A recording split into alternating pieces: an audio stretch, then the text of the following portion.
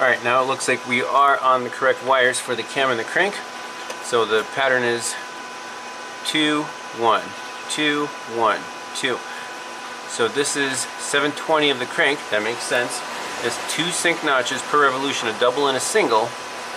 And the spark is occurring at the sync notches.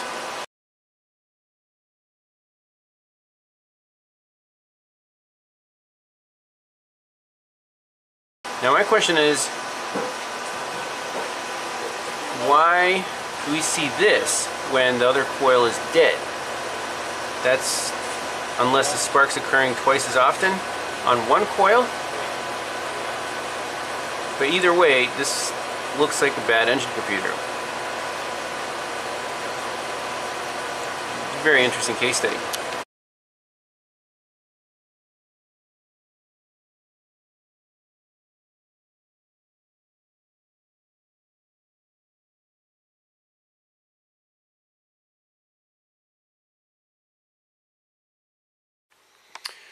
Alright, so we need some known good cam, crank, and ignition data.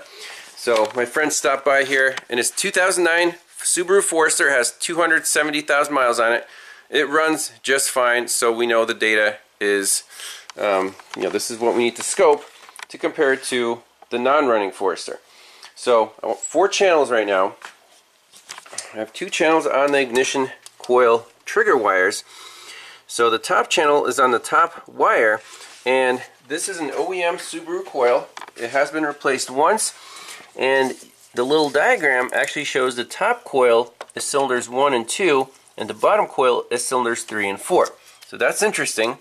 Um, so the top wire must control coil number, you know, the top coil. So anyways, channels 1 and 2 are on the trigger wires. Channel 3 is on the crankshaft position sensor. And channel 4 is on the camshaft position sensor. So let's fire it up and see what we get. Alright, scope is rolling.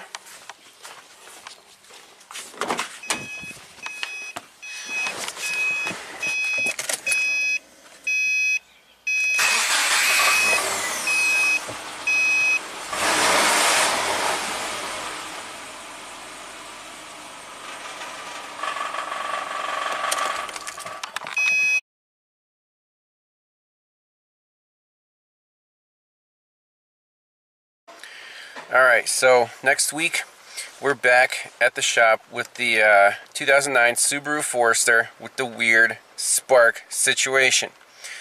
Now, over the weekend I got known good waveforms off of my friend's 2009 Forester and I just want to give a huge shout out to John Thornton.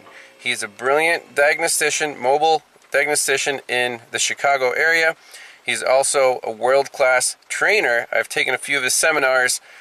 Um, probably my favorite in terms of just case studies. He presents live case studies that he's done in the field and presents them at a very good pace. You don't get bored in his classes.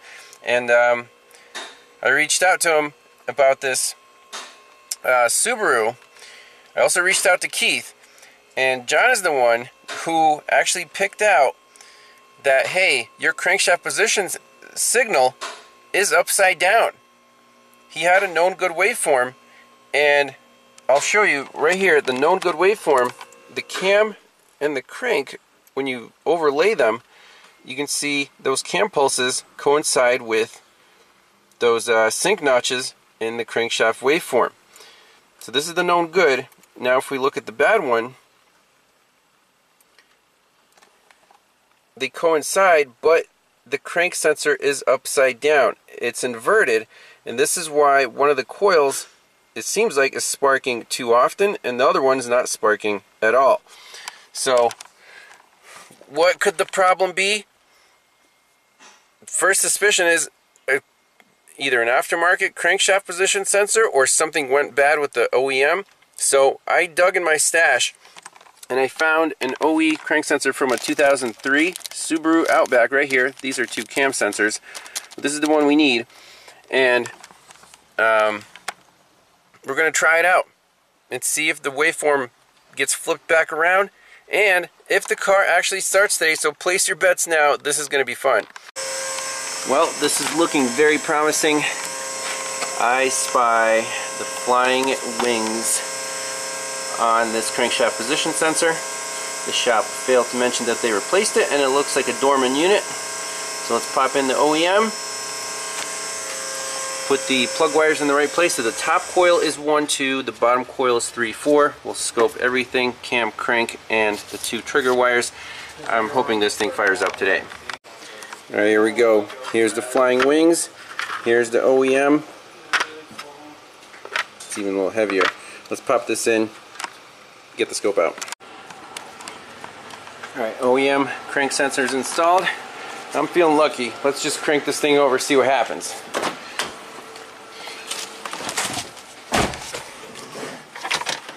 Here's the key.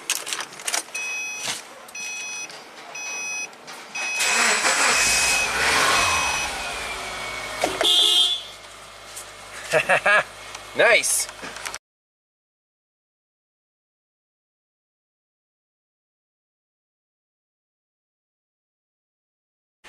Alright, wrapping up this Subaru Forester.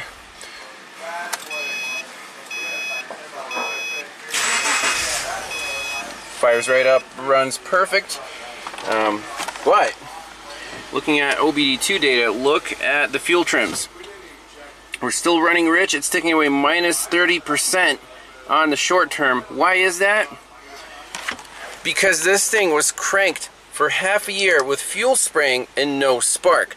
So it desperately needs an oil change even before the first test drive.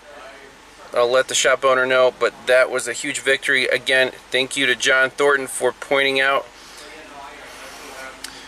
If you don't have a known good waveform, you're still guessing. Even though the signals look good, it was flipped around because of an aftermarket crankshaft position sensor. Crazy stuff. Um, so that's where networking comes in handy and experience and data.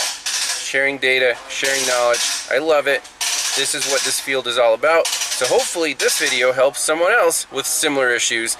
Again, say no to aftermarket parts when it comes to critical electrical or engine components. That's you see it every day in this field. Thanks a lot for watching, and we'll see you in the next one. Bye-bye.